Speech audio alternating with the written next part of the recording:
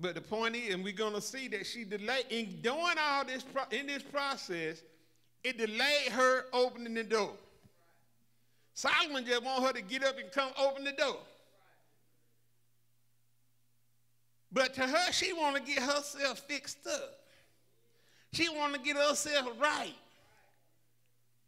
She going to, to present herself before her beloved, and she wants to be right. But Solomon just, just come open the door. Okay? I'm not saying that either one of them is wrong, but I'm just saying that for some of us in our relationships, we have these little things that come up where one may just, just want you to do the basic, just come open the door. The other one may want to want to fix them, prepare themselves to, fix, to open the door. And this is the, the thing that they have going on.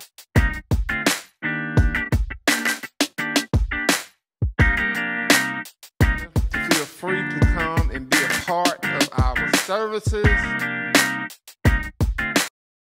Praise the Lord, everybody. Come on, let's give God a hand of praise. Thank you, Jesus. Glory to God. Hallelujah. It's a wonderful thing to be in the house of the Lord this morning, to give him praise, glory, and honor. And I don't know about you, but I'm excited. I'm excited about being in the house of the Lord one more time. You may be seated for a few minutes. We honor the Lord, first of all, today for being here. And we thank each and every one of you that has uh, came out to the uh, church this morning. And also we give God praise and glory and honor for all of those who are getting us on Streamline and uh, however they are getting us. We do thank God for them because people, God is awesome. God have blessed us, and we thank God for all his rich blessings. And I thank God again for each and every one of you. We're going to have a time today praising the name of the Lord because it's all about Jesus. It's all about Jesus. Again, we thank God. And I do want to thank God and thank you because this year we've done some things in the ministry that, that we haven't uh, uh, done before. We always had our Christmas program, we always had our Easter program, but we never had a Mother's Day program. But this year we had some people that got together and they wanted to have a Mother's Day program, and, and they did, and it was excellent. I thank God for all the hard work, all the dedication, and I thank God for all the decoration. Praise the Lord, done by uh, Sister Phelps. And I do thank God for Sister Jennifer Walton. Because she did something that was unique. She took her own money and she bought baskets for all of the uh, preachers, the past, me, the preacher's wife, and some of the other people in the church. She did that with her own money. And we ought to thank her.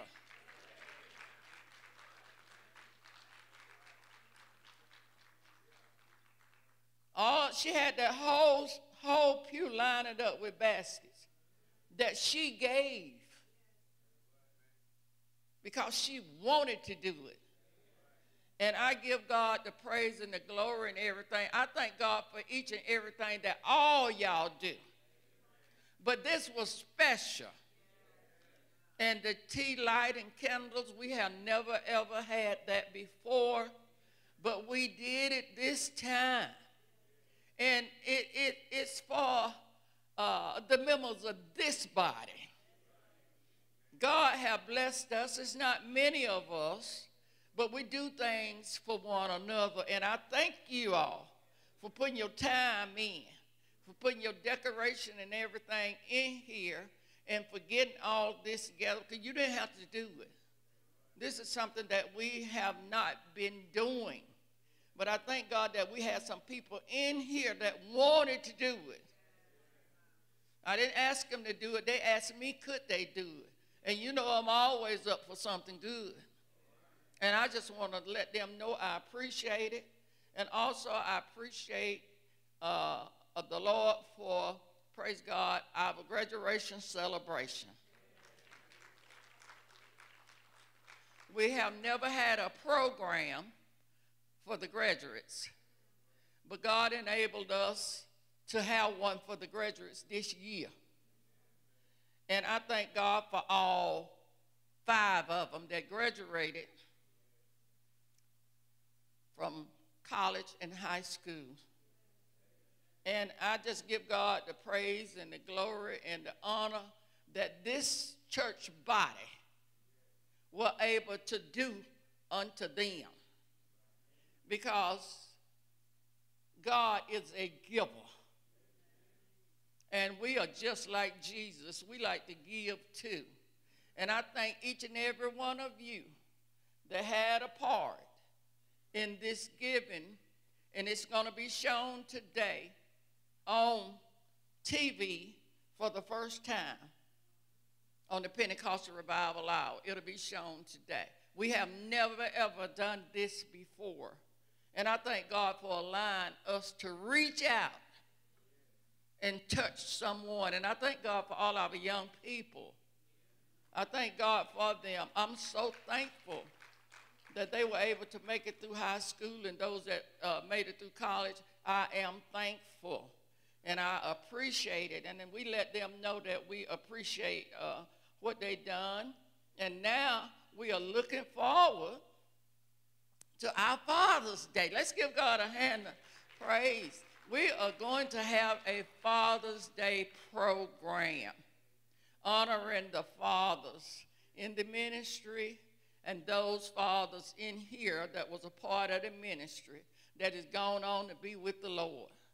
I thank God for them. I wish years and years ago that my father could have been a part, but my father is not a part. He was never part of the ministry. He was never in the ministry because he had passed away before the ministry got started. But I thank God. I believe if he had a lived, I believe that my father would have been a part of this ministry. I believe he would have. But my mother was. And I thank God for her coming on in, being a part of the ministry. And I just thank God for what God has done. And I thank God for the upkeep of the ministry inside, outside, TV, everything. Because we are doing everything in house. We have not hired out for anybody to do our closed capture, to do our, our, our TV programs or nothing like that. But the people in the ministry, is doing it. And I thank God. I thank God for these men and women that are running these cameras.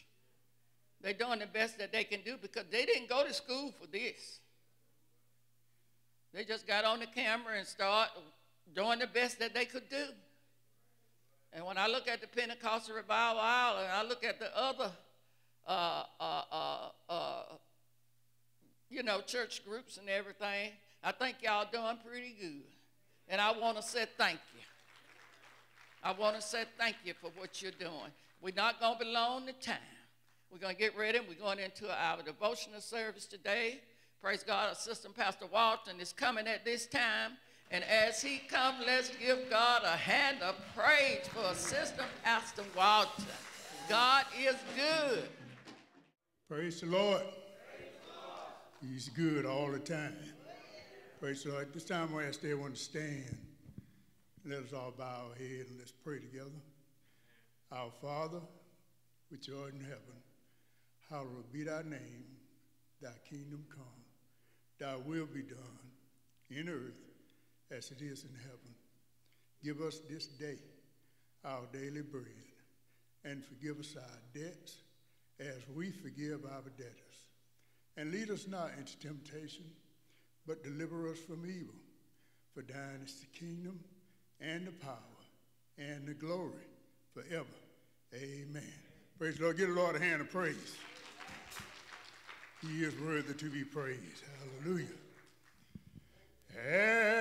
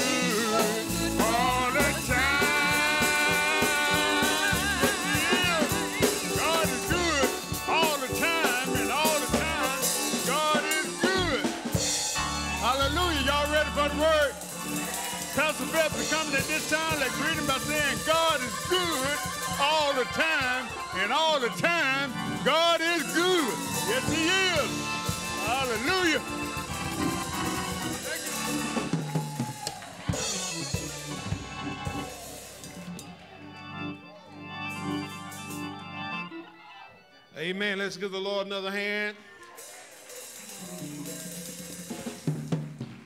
If you will, go ahead and get your Bibles. Hold them up and repeat after me. This is my Bible. I am what it says that I am. I believe what it says to believe. I come to the Lizella Pentecostal Church to be taught the Word of God. I will not serve the devil. I will not live in sin.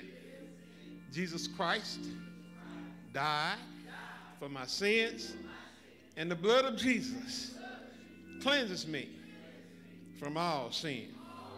I am Christ like. I am born again. I have power over the devil. In Jesus' name. Amen. Amen. And amen again. Let's give the Lord another hand. Oh, yes. And if you will, just bow your heads right where you are. Dear Heavenly Father, we give you glory, honor, praise, and worship. We want to say thank you for another chance to enter into your presence. We thank you for our life, our health, and our strength. We thank you mostly for your son Jesus coming into this world to die for our sins. We thank you for salvation. We thank you for all the times that you have healed our bodies.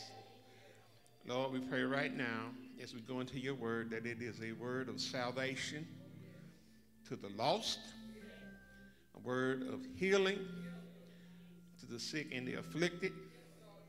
We pray that every broken heart is mended by you. Lord, as we give you the glory, the honor, and the praise. In Jesus' name. Let us all say amen, amen, and amen once again.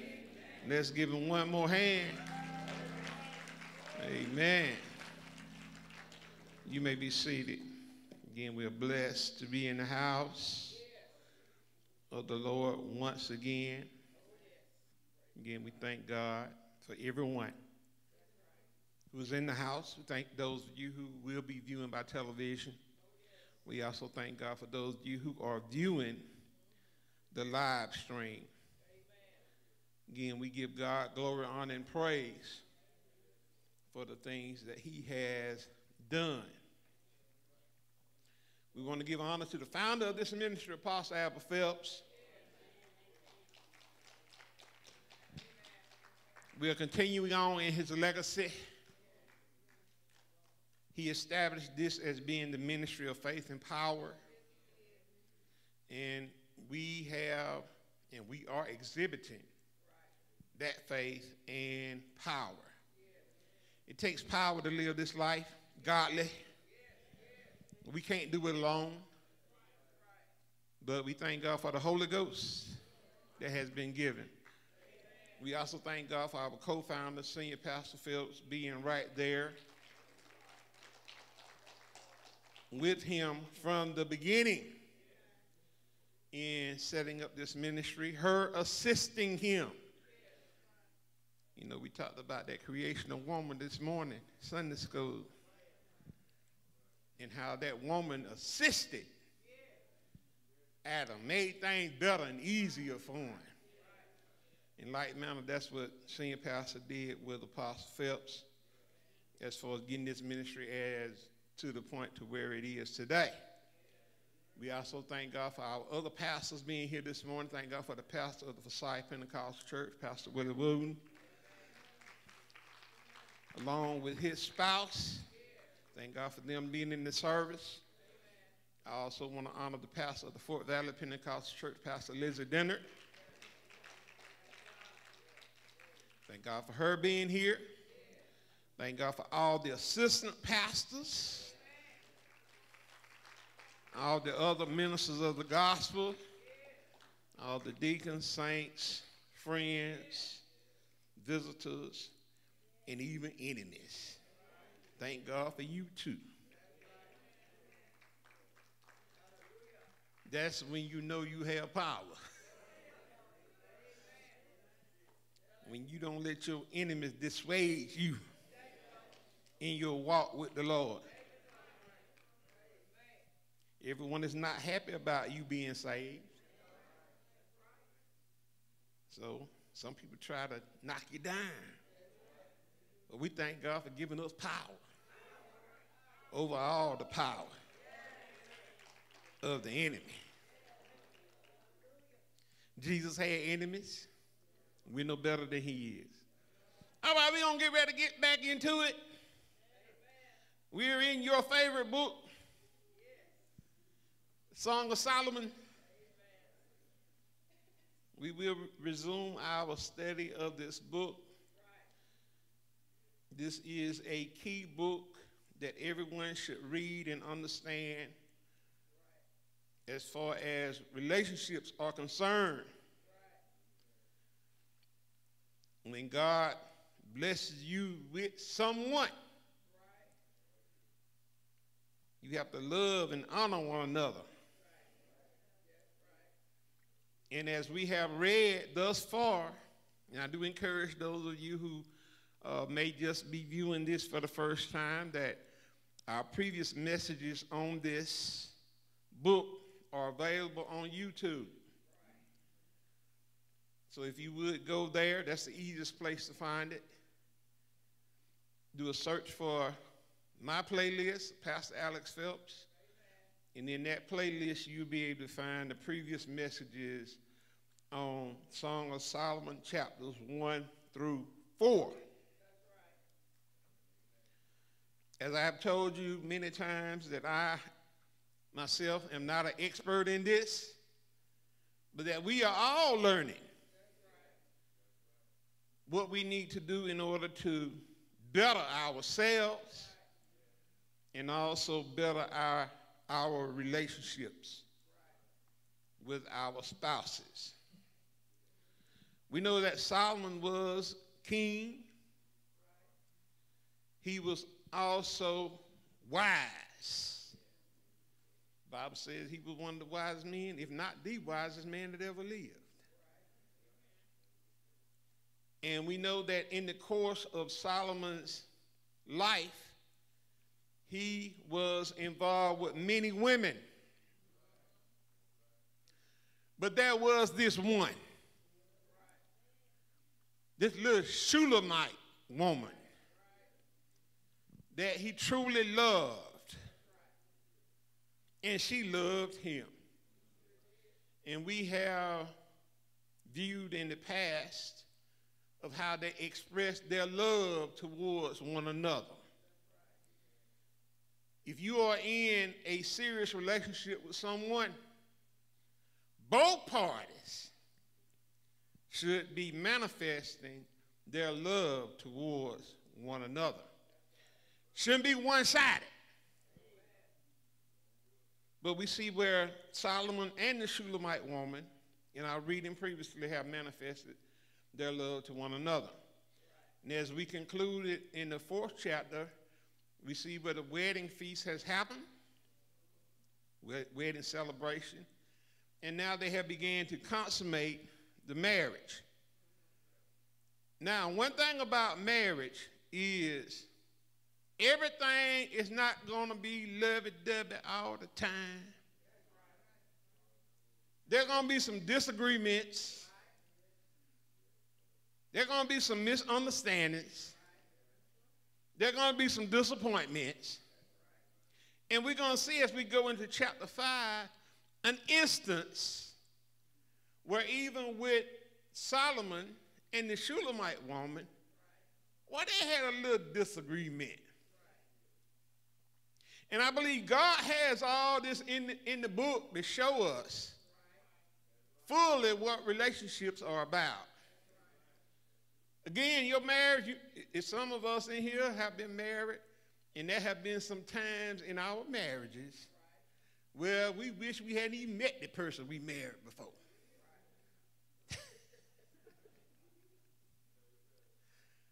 but most of us get over that. But I'm just saying, there's some times where you're not going to really like that person. You may still love them, but you may not. It's a difference between liking someone and loving someone. Sometimes, because of the decision one of the spouses made, the other spouse may be disappointed. And so we're going to see as we go into chapter 5, a little thing happens here, and we're going to see how it is handled. About everyone in Song of Solomon, chapter 5. I'm going to begin reading with verse 1. And it reads I am come into my garden, my sister, my spouse. I have gathered my myrrh with my spice. I have eaten my honeycomb with my honey. I have drunk my wine with my milk. Eat, O friends, drink, yea, drink abundantly, O beloved. So now this is Solomon.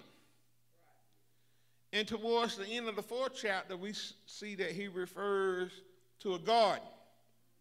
And in this instance, the garden referred to the womb. So now Solomon has consummated the marriage in this first verse. And he is saying that he has gathered his myrrh with his spice, eating the honeycomb with the honey, drunk my wine with my milk. Then he said, Old friends, drink, yea, drink abundantly, O beloved. So, and I do have a reading that I have been reading from to help us understand this, and it's from the relevant Bible teaching. And the reading says Solomon speaks of having consummated the marriage and having entered the garden, talking about the womb. He says, in keeping with his early analogies and symbolism, that he enjoyed the garden.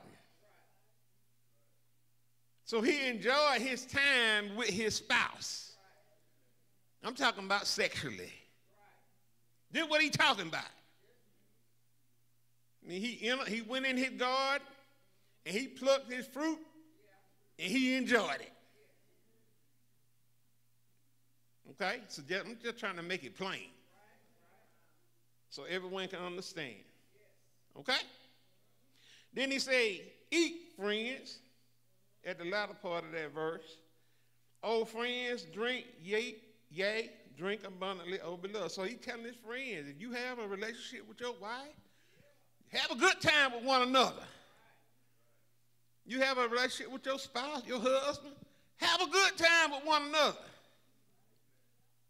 Whenever you get married, the bed is undefiled. Have a good time with one another. Any question? Okay. So this is what he's talking about. He said, I, ate out of my garden. I enjoyed my garden. You enjoy yours. Okay?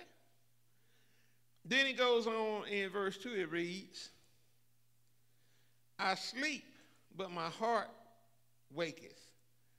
It is the voice of my beloved that knocketh, saying, Open to me, my sister, my love, my dove, my undefiled.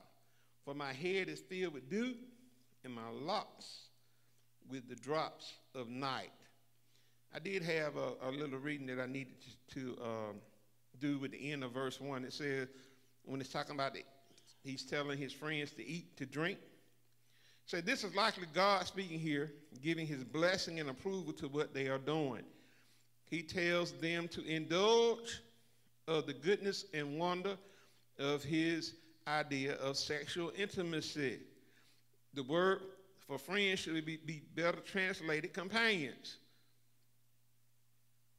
God wants us to be overwhelmed and carried away with love, letting go, loving, and enjoying his idea of sexual intimacy in marriage. We are to be consumed with pleasure, intimacy, love, and affection. The sights, the fragrant smells, the garments, the jewelry, and the romance all lead to a healthy and normal experience of intimacy in marriage. So again, this is getting back to the marriage. This for married people now. You should be enjoying one another on an intimate level. All right, now getting back to verse 2, I'm going to read it again. It says, I sleep, but my heart waketh. It is the voice of my beloved that knocketh, saying, Open to me, my sister, my love, my dove, my undefiled, for my head is filled with dew, and my locks with the drops of the night. So in verse 2, here is the beginning of our little dilemma. Our reading says God is very realistic in the scriptures, having highlighted the goods and bad of people. Not long after consummating of the marriage, and perhaps even the same night, a conflict occurs. Soon into their marriage, perhaps even their first night together, she has a dream. She says she was sleeping, but her heart was awake. So she was probably in a very deep sleep. She hears a voice and is awakened by a knock on the door. For whatever reason, Solomon had to leave the bedroom and go outside. He was drenched with dew and wanted to be let back in. She hears him knocking and recognizes the voice of her beloved. So now, again, this dilemma is arising. Apparently, Solomon has went out for some reason. It doesn't tell us the details of it. But he's trying to come back in. And he can't get in. Okay, so here she is. Again, she said that, that she was asleep, but her heart was awake. So she hears a voice of her beloved, which is Solomon, asking her to open the door. My sister, my love, my dove, my undefiled, for my head is filled with dew, and my locks with the drops of the night. So Solomon cannot get back in. And just like, and we're going to see, maybe I need to read it before I bring this up. Well, I will say this men, sometimes we we are impatient. We want things to happen when we want it to happen. But let's go on and read verse 3. It says, I have put off my coat. How shall I put it on? I have washed my feet. How shall I defile them? Now, this is the Shulamite woman talking. She has gotten ready for night. She's not dressed. The custom was in that time is before you get into bed, you wash your feet. She has washed her feet. And she doesn't want to get up. Because she's in for the night. And women, you know how some of you all are. You will not go to the door unless you right. And sometimes it takes you some time to get right. I'm talking about the hair got to be right. Your face has to be right. Clothes and everything has to be right. And sometimes that takes some time. So, but here Solomon is outside knocking on the door. He wants to get in. But there's a delay. Sometimes we in our relationships, our wife or husband doesn't respond when we want them to respond. And we begin to have a little feeling in there. So this is what is happening with them. So again, she has put, put off her coat. Then why don't put it on? I have washed my feet. How shall I defile them? Then verse 4 said, My beloved put in his hand by the hole of the door, and my bowels were moved for him. So this is her still speaking. Solomon can't get in, but apparently there is some type of lattice win- window or something that he's able to put his hand in, the hole, but he can't open the door. And the, the, the, the lady let him know that, hey, my, my, I love him now. I love him. And let me go ahead and, and do this little reading. It says Solomon reached his hand through the opening to likely signal to her to come and open the door. Maybe he made some kind of gesture trying to show her that he missed her. The bottom line is that something aroused her feelings toward him, and she put fragrances on her fingers and hands, even spilling some onto the boat as she went to open the door. And I'm going to read verse 5. That's what that's going to bring that out. I rose up to open to my beloved, and my hands dropped with myrrh, and my fingers with sweet smelling myrrh upon the handles of the lock. So she got up and she began to, she want to be right. She want to put a smell good on.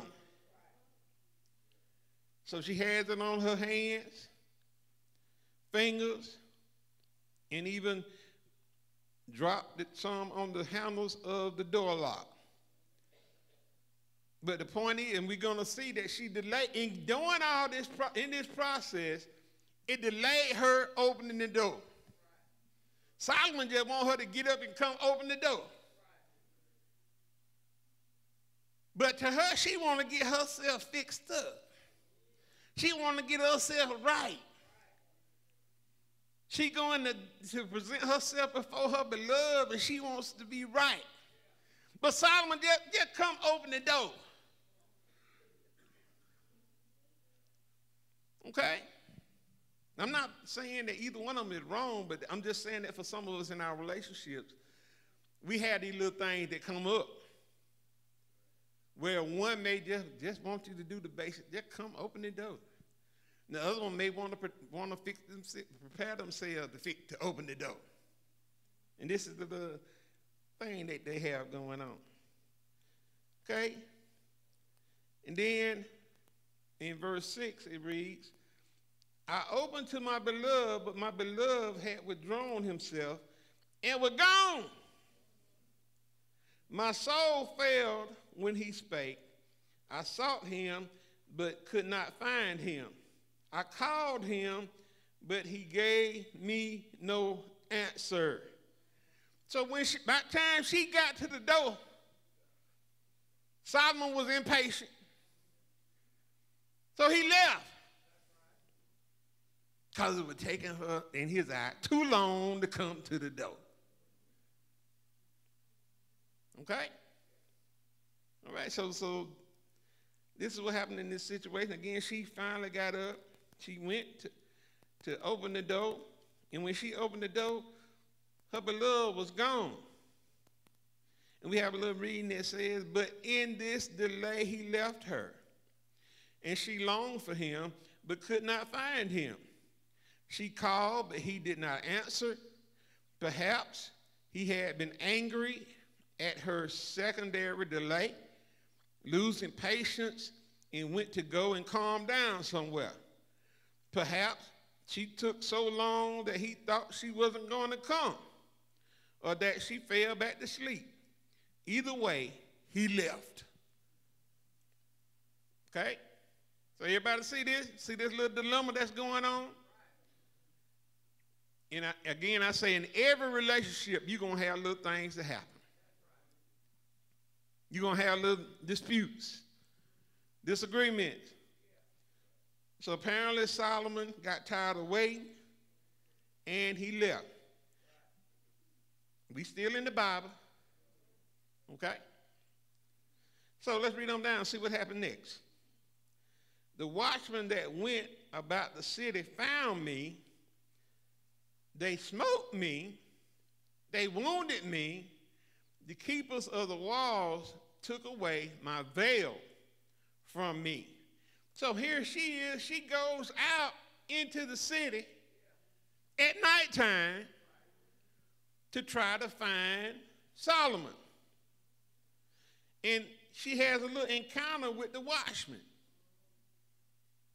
because it was dangerous.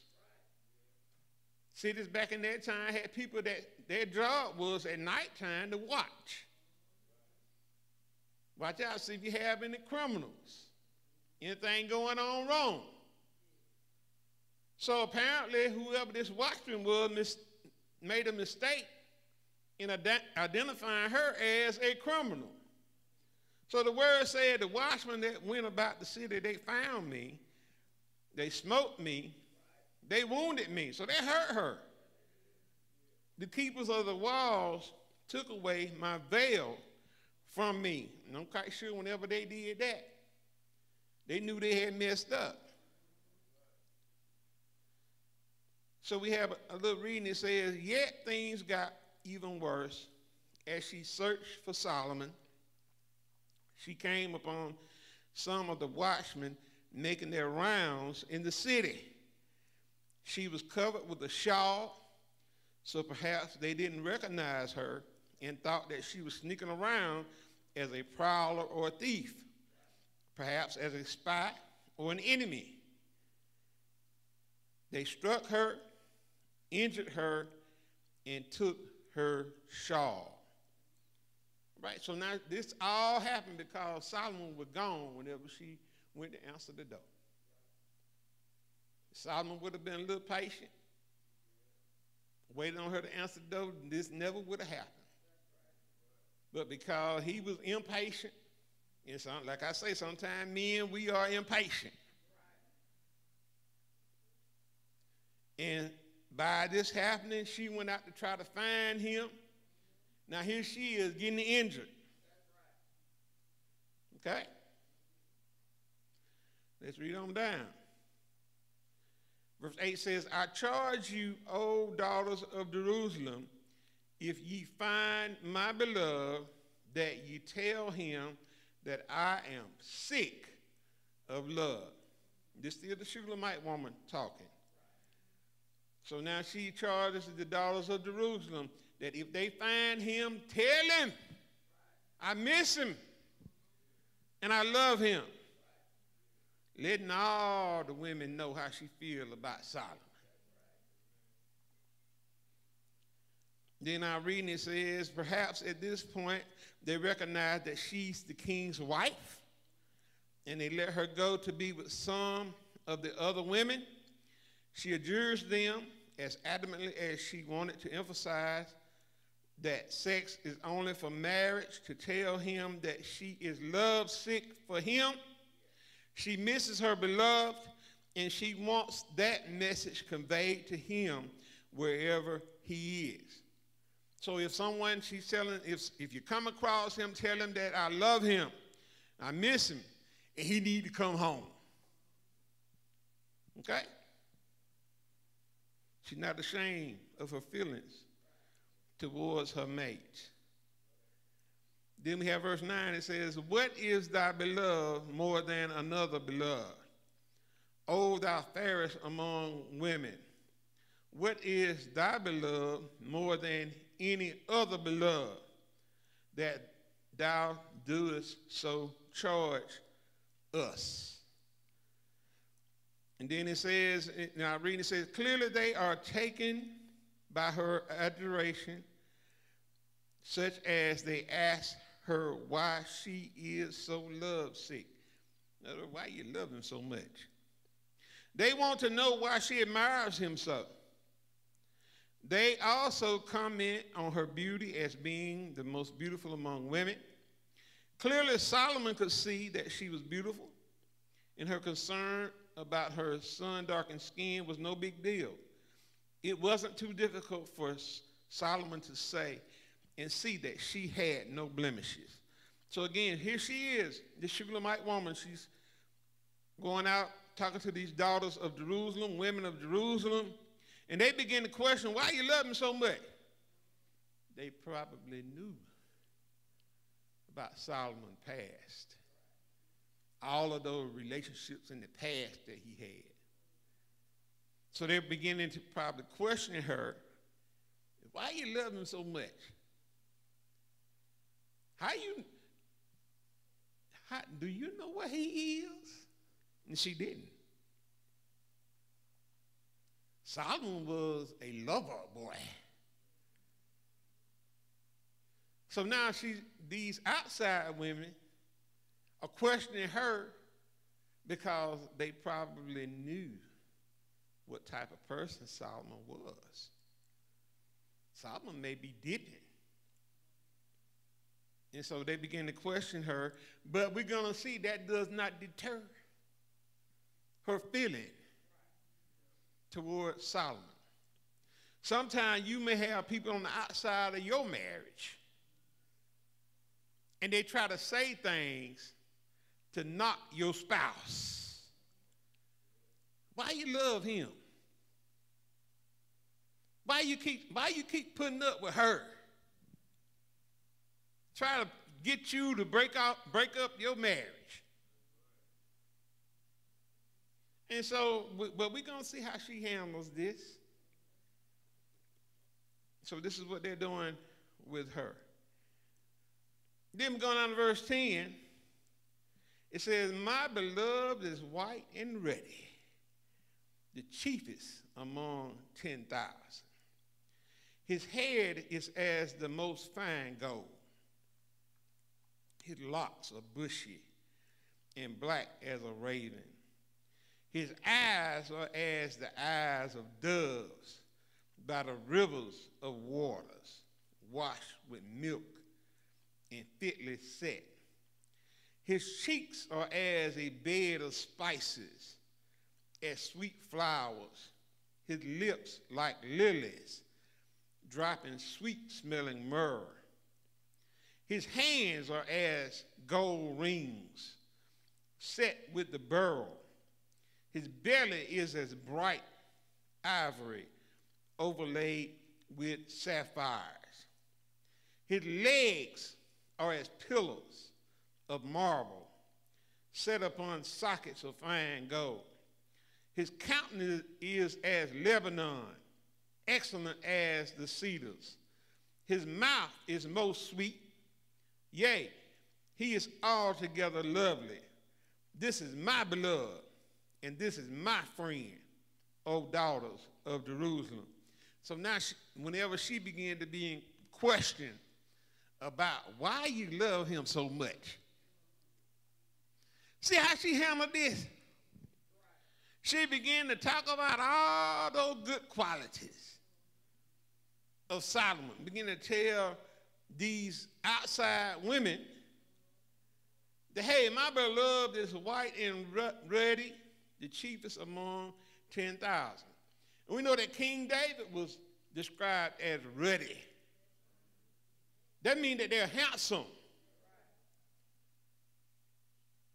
And so she began to tell these women, that she began to tell them, tell them why she loves him. Getting to tell all these, sometimes you gotta let folk know. Folks trying to get in between you and your spouse. And let them know them good qualities. This is why I love him, because he's handsome. He the chiefest among 10,000. His head is as the most fine gold. His locks are bushy, talking about his hair, and black as a raven. They want to know why she loved him. She telling them, describing the beauty that she sees in Solomon. You are not to be ashamed of the beauty and the qualities that you see within your spouse. Whenever the enemy, the devil comes trying to attack your spouse, make you think twice about your spouse, you need to have some words for him. They don't know, hey, I love my spouse. You trying to talk and break up our relationship? That's a good person to me. Again, she began to tell these qualities. Say his head is like the most fine gold, his locks like are bushy, as black as the raven, his eyes are like the eyes of doves by the rivers of waters, washed with milk and fitly set, talking about how beautiful his eyes are. Then talking about his cheeks, or as a bed of spices, as sweet flowers his lips like lilies, dropping sweet smelling myrrh.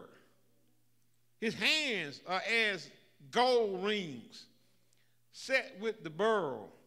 His belly is as bright ivory overlaid with sapphire. And again, I'm to pause right there. I need go back and hit some of this reading.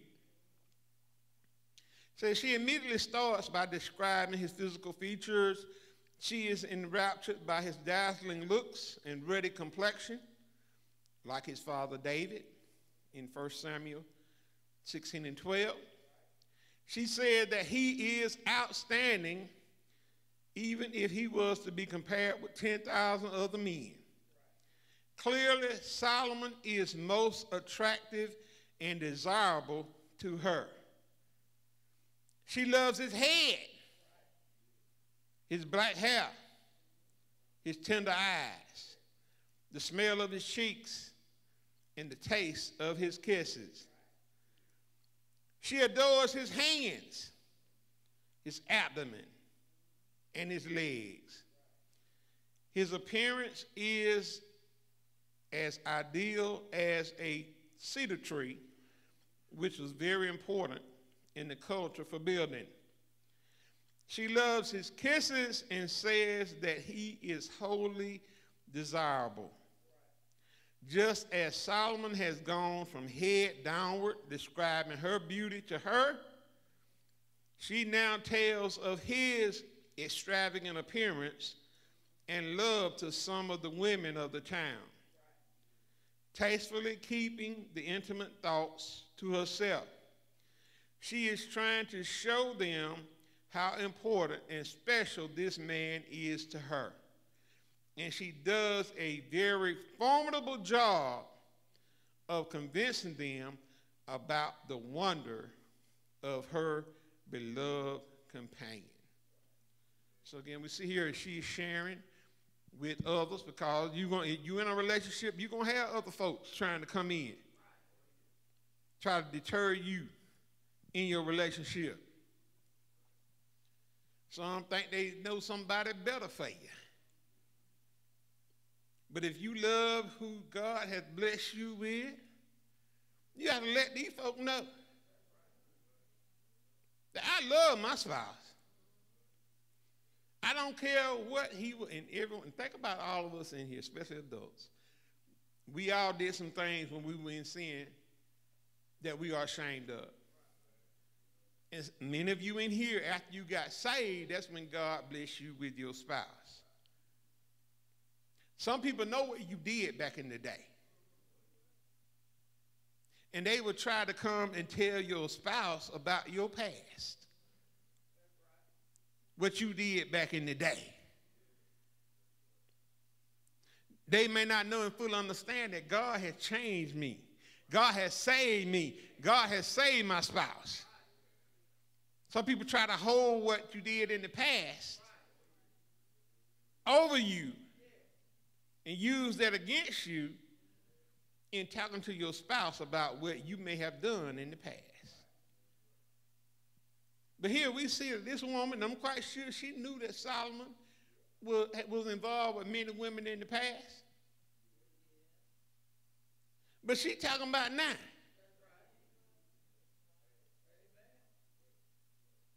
She said, I love this man.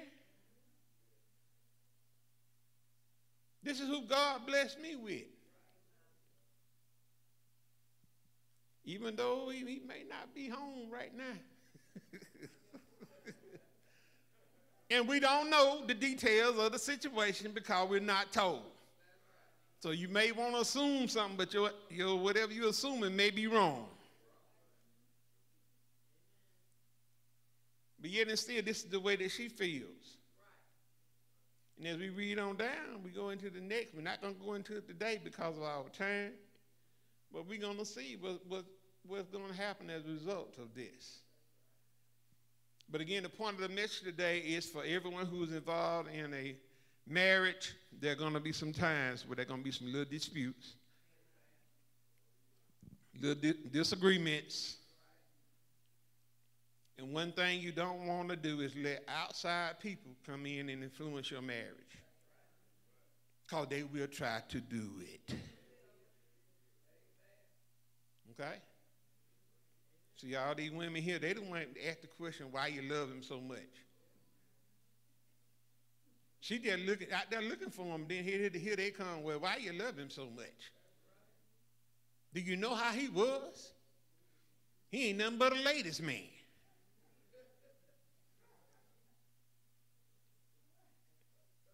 Yeah.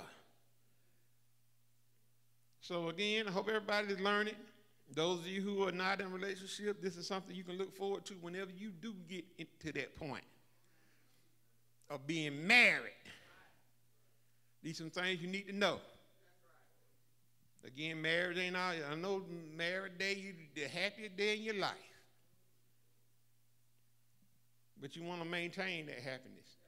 And every every, there's not a person that I know that get along with a person 100% all the time. Married or not married. I love my mother, senior pastor. Something we disagree on sometimes.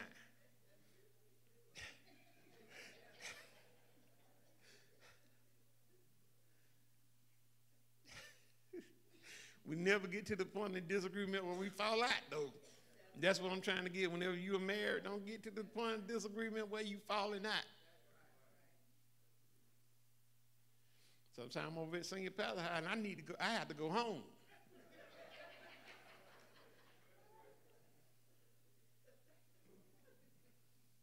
But I be done said something I regret. Sometimes you in your married relationship, sometimes you have to go. David, I mean Solomon may need to get out the house for a minute. sometimes me have to get out the house for a minute.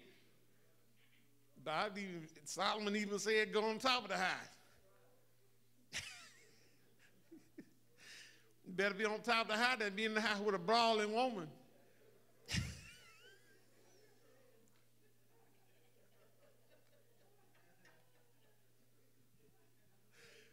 So again, we thank God for the word today.